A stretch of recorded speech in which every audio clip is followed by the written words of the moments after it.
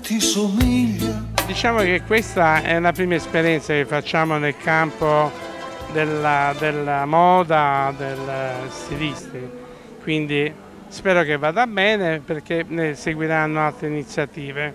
Fino adesso ci siamo dedicati molto all'artigianato creativo, artistico e dell'artistico. Facciamo molte iniziative sociali, culturali e tutto ciò che facciamo lo facciamo senza finanziamenti, né pubblici né privati. Quindi tutto è pagato dalle, da, dagli associati. La particolarità in due parole di questa serata è soprattutto cos'è per lei la sicilianità? Allora, noi ne abbiamo parlato, abbiamo parlato dando eh, diciamo, un'impostazione sulla sicilianità lasciando libere però le stiliste nella loro interpretazione.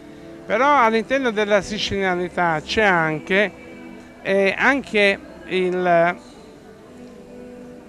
l'accoglienza, quindi il rispetto anche di coloro che vengono che rispetto alle loro tradizioni e l'integrazione, quindi integrazione, rispetto delle tradizioni e accoglienza. Quindi in questa manifestazione ci sono queste caratteristiche ed adesso rispetta il nostro essere siciliano, insomma, non potevano mancare, giusto?